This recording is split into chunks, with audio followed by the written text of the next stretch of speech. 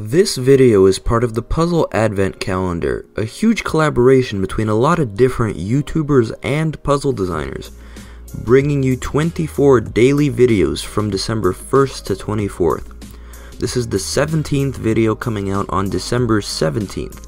Make sure to go into the description to see who's uploading the next video and check them out. Subscribe to them so you don't miss the next video, and once the collaboration is over, there will be a playlist in the description linking to all of the videos. This is an episode of Print It Yourself, a series that I make where I 3D print puzzles whose files are publicly available for anybody to download and print. The last build I did for this series, the 4x4 Evil Twin, was much more complicated than it should have been and required many more materials than it needed to. So I wanted this next puzzle to be very simple to build, and I think I was fairly successful in achieving that. The 3x3x2 Evil Twin really doesn't take a long time to build, and the most difficult part is cutting off two edges on each of the 2x2s.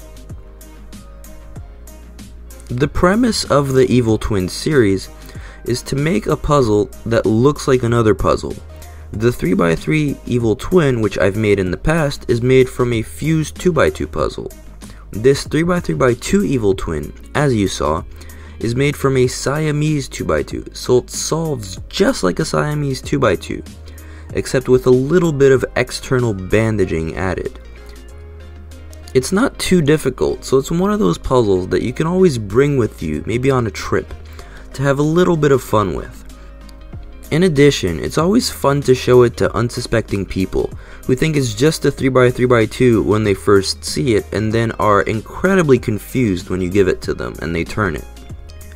I used 3x3 speed cube stickers for this puzzle and they stuck so well that I had to superglue each and every one to the puzzle. As a result, they don't look too pretty, and if I were to remake this, I would definitely cut my own stickers. The major benefit of the ones I did use, however, is that they are fluorescent, which means that you can see them much easier in the nighttime. I'm not entirely sure about that actually, and I think it's worth looking into what kind of stickers look best at night.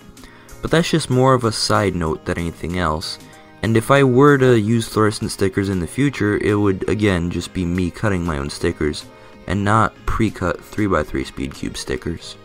If you have a couple of 24mm 2x2s, a saw, and the ability to get 3D printed pieces or 3D print, I highly recommend making this puzzle for yourself.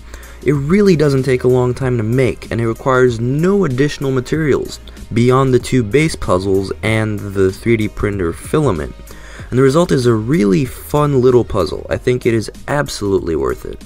And in addition, it looks insane when it's scrambled. So let's try scrambling it now and see how it turns out. After it's scrambled, I'll show you a walkthrough solve in case any of you make the puzzle for yourself and kind of want a hint on where to go after you get a certain part done.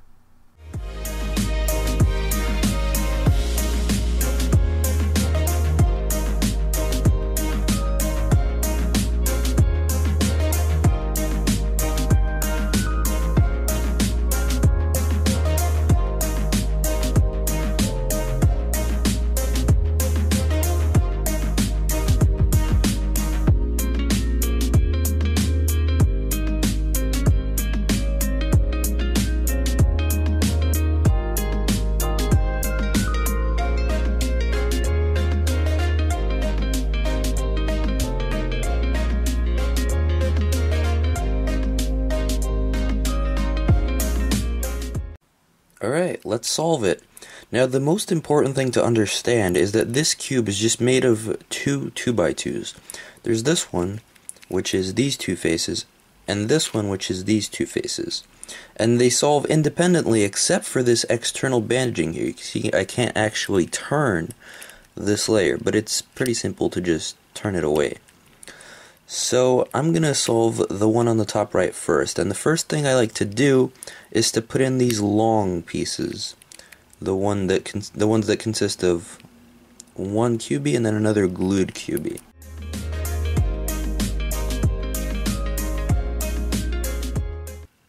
Alright, you can see that it actually doesn't belong here. It actually belongs on this side.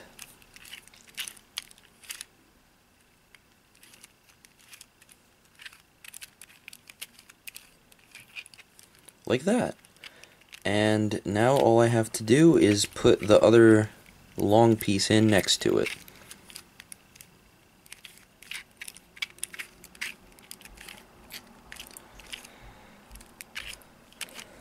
And here we are. And to solve the last yellow layer, there's just one algorithm. I'm not going to explain it too much, but basically since you can only use R and U moves, the permutations are fairly restricted, so you can solve the entire top layer with one algorithm. It's used in one of the beginner's methods to cycle around 3x3 edges, and in a few other methods as an OLL. But here you can just use it to solve the entire top layer, so just put the correctly oriented piece in the bottom left and do it. R U R prime U R R prime. Do the same thing. And the top layer is now done. And when solving the other two layers of the cube, you're going to want to turn this twice so that you can freely make these two moves and all of the external bandaging is basically gone. So it's the same story, we put this in and uh, I didn't even have to do the algorithm for the second layer it is already solved so yeah you can see that you can solve this puzzle really quickly if you want to it's not something that takes a long time however if you want it to take a while then you can try exploring other methods like try not using that algorithm try using others but anyway, that's all I really have to say about this puzzle. Don't forget to check out the next person in the puzzle advent calendar links in the description below. Thank you all for watching, and have a good morning.